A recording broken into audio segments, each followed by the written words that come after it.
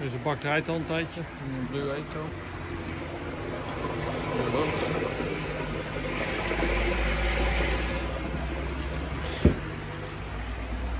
Precies.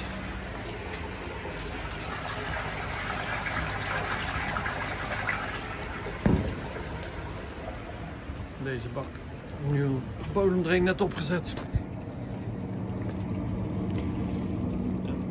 Getest. Dit filter erop zetten. Zelf gemaakt. Een bewegend bed. Een paar matten. Een PVC. Om het aan te sluiten. Een pompje leren. Dat is een beetje alle oude spulletjes eh, proberen op te maken. Maar ik heb het helemaal aangesloten op dit doosjes die ik heb liggen. Dat is de vraag. Overloopje ingezet. Nou, dat door. Het wel twee jaar nodig. Dus gewoon met één bodem erin. 3000 liter. Op PVC leggen. Nu even leeglopen. Dan gaan we de pomp erop zetten. Afsluiten zoals gewoonlijk. 110 mm schuif. Later door. Dus kan niet werken zo met water. Dus draait alles in. Het zal een paar weken duren. Dat het goed. Dus we zitten drain dat het water kan verversen en weg kan laten lopen uit de filter en uit de overloop.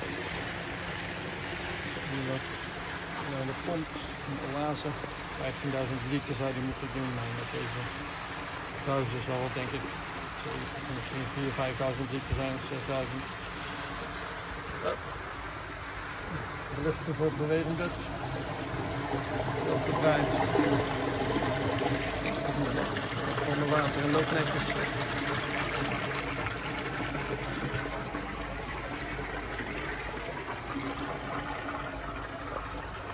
Dat ook van